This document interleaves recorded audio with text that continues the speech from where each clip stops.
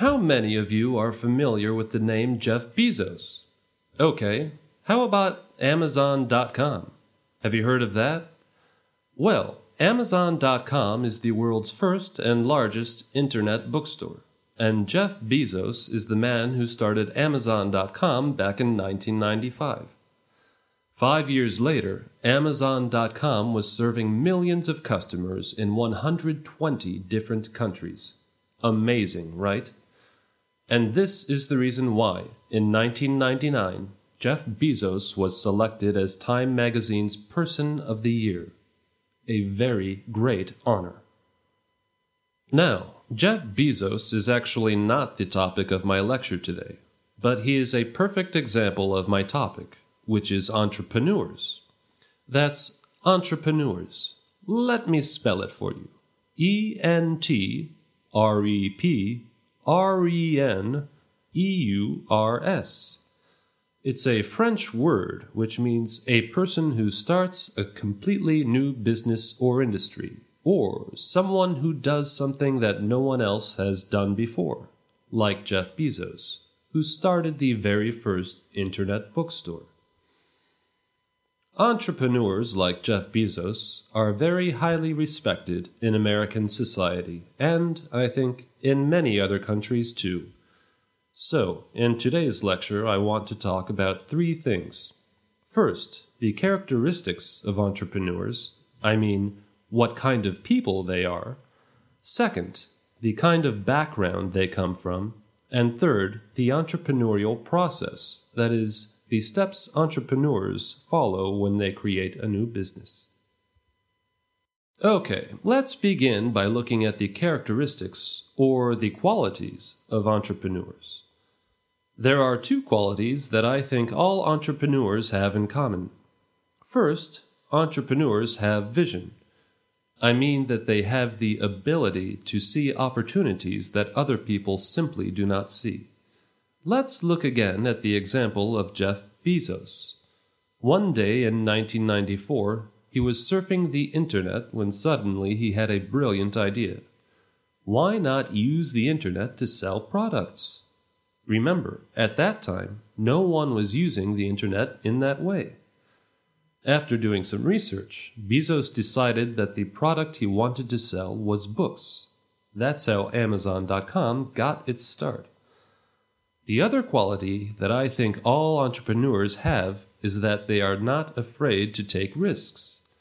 I mean, they're not afraid to fail.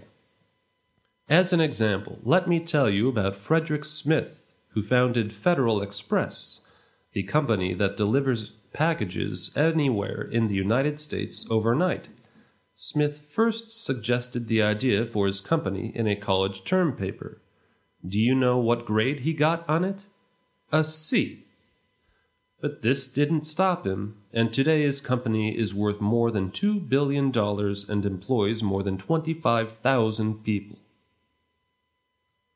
Okay, we've just seen that all entrepreneurs have at least two important qualities in common. But now let's take a look at their backgrounds, and here we'll find lots of differences. First of all, some entrepreneurs are well educated, like Jeff Bezos, who graduated from Princeton University. But others, like Bill Gates, the founder of Microsoft Corporation, never even finished college. Next, some entrepreneurs come from rich families, like Fred Smith, the founder of Federal Express. In contrast, other entrepreneurs come from poor families.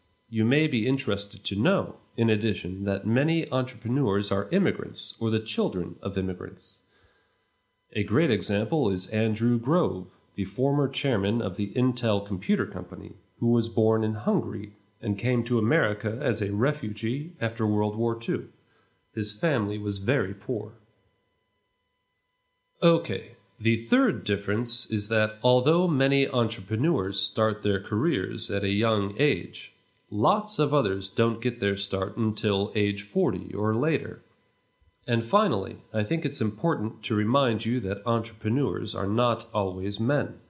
A famous woman entrepreneur, for example, is Debbie Fields, who founded the Mrs. Fields Cookie Company.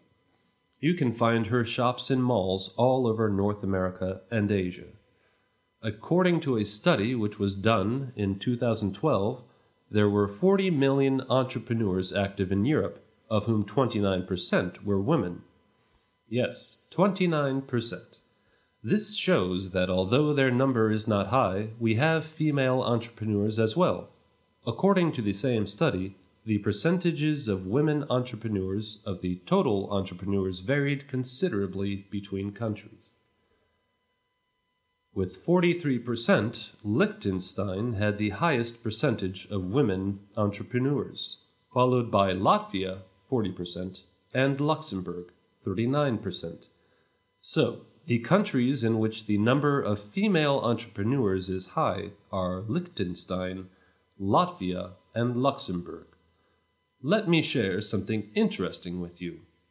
With 15%, Turkey had the lowest percentage. So, to conclude this section, you can see that entrepreneurs come from many different backgrounds. I want to move on now and take a look at the entrepreneurial process. There are six basic steps that most entrepreneurs follow when they start their business. In the first step, they identify a problem.